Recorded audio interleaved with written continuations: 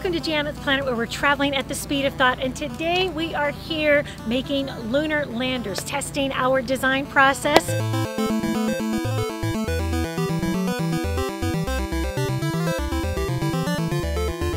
I learned that you have to make the astronauts stay in the bucket, something to hold them in, and you have to have weight on the bottom so it'll go down. It was a little difficult. You have to build it the right way if you want to have an easy fix.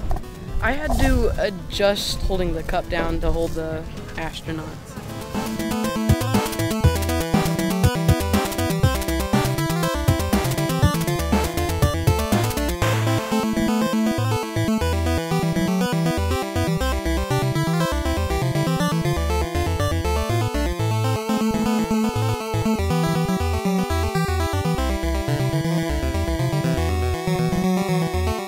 I needed to do something different and work through my problems.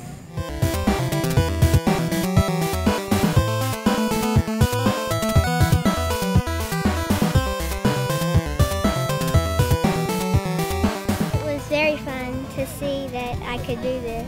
I'm ready to show this to astronauts. Let your mind revolve around this thought. It's all about creating, brainstorming, and testing your design. And that's the view from Janet's Planet. Go!